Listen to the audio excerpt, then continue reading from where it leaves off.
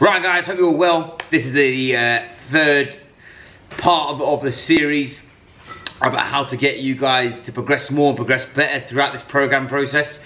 Um, training online is obviously a very difficult situation, but then with the things that we can manage and the things that we can obviously measure. One thing that you'll see is a check-in that you have that will describe digestion. Now, digestion is one of the number one factors in progression. Um, 75% of your immune system actually comes from your gut and your gut flora. Your gut is not necessarily just your stomach, it always talks about your small intestine as well as your uh, your large intestine. Actually, how are you processing food? So you aren't what you eat, you are what you eat and you absorb. That absorption is a number is a number one key factor in actually assimilating food actually produce how you're going to produce energy how efficient your metabolism is how you're going to reduce inflammation bloating distension all the sort of negative effects of what eating food can produce is because our, what we're looking at are the enzymes in your stomach. Are they actually utilizing and digesting and breaking down food properly molecularly into a position to be absorbed? So an example is a lock and a key. Uh, your stomach the enzymes in your stomach are keys the stuff that you're eating is a lock.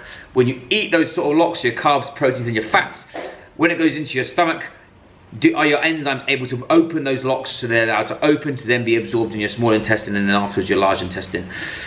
If you're getting bloating, you're farting, you're belching, um, you feel you feel overly full when you're eating a small amount of food, if you're going to the bathroom and you've got green apple splatters and you're going to and you're violating yourself when you're sat in the toilet, those are things that we can relate to digestion. Now that kind of stuff there is a huge warning sign that you're not digesting food well. That's what you need to communicate to me. Now the thing about this process is we've got to get into personal. I talk to everybody about their shit. It's weird, I know, but you'll soon get used to it. If you do start getting sort of digestive issues, you need to actually um, mention to me as soon as possible. Because obviously if we were seeing each other face to face, you would be able to uh, tell me on a day after day basis. Where at the moment when I check in on a Wednesday and I check in on a weekend, if I don't see that, that that's in your check-in, I will assume that your digestion is fine. So you need to say that. Secondly, what we're looking at um, is when we're actually eating, are we getting any negative effects? So like I said, if you're getting bloating, if you start, if as soon as you eat something you start belching and or farting or have to run to the bathroom, again, those are sort of factors that we need to comprehend and actually talk about because that could be actually linked to your stress levels. If we talk about metrics as well, so we're talking about your resting heart rate, your HRV and your blood pressure. If your HRV is up and your, your elevated blood pressure, that's a stress response. If you have a stress response, 50% of the time, this is more bro science that I find is that people who actually don't have the ability to break down food properly, they're causing so much inflammation, it's causing a stress response because their body's trying to get rid of inflammation.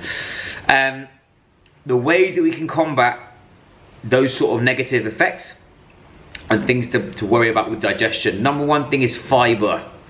Um, Fiber is what obviously what binds everything together, but also that drags through anything, any pathogens or anything negative in our body. If we are not having enough fiber, so not enough fruit and veg, um, and sort of starchy carbohydrates and that kind of thing, we're then actually struggling to actually formulate stools, which again, it's out again, we're talking very, very deep. But it's really, really important that you understand this.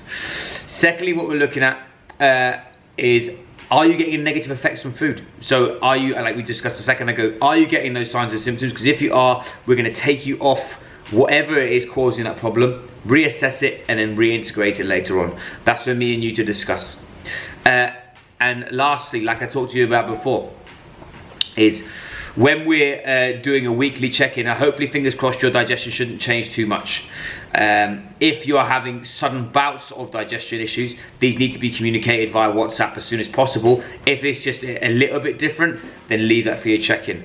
Um, one last thing that can actually affect your digestion is obviously hydration levels. Hydration is really, really important. You should be having one litre per 25 kilos of body mass minimum. If you're training, you have to add a litre onto that. So I'm nearly 100 kilos. I'm going to be having four litres of water before, uh, before I train, is within that day. If I train, I'm aiming to hit five. What you need is buy yourself a nice water bottle. I've got a thermos flask, it's a litre. I have to chop four of them per day minimum. Coffee and tea does include, does, does, uh, is included. But don't think that you can use coffee as a litre measure because that will probably send you wild. Um, In our next video, we'll, we'll move on to the next step. If you have any questions about digestion or your actual current diet, like I said, in the PAR-Q form, it's written in there, but also just find me a message.